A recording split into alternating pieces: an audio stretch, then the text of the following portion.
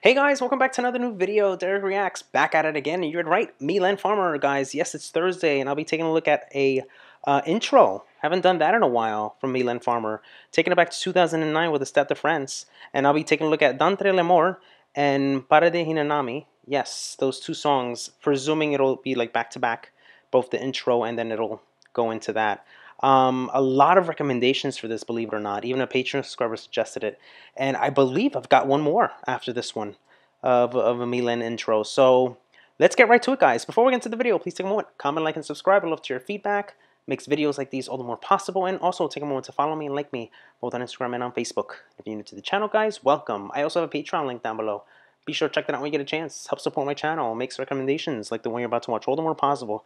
Guys, if I go nuts, I go bananas, lose my fruit, everything falls off my wagon, you know the drill. It's going to go directly on my Spotify. Be sure to follow me there. Dereck Reacts, link in the description down below. Um, got great merchandise for you guys. Yes, DereckReacts.store, Pride gear, a lot of Pride stuff. Be sure to check that out when you get a chance. DereckReacts.store. Um, there's, there's a lot of stuff on there. I'll be updating it every now and then with some new designs. And talking about Pride, um, all next week and for the rest of the month, I'll be reacting to all of your requests. Be sure to submit to me, submit all those requests by the end of this week. Um, and I can't wait to react to that, guys. All right, without further ado, let's go.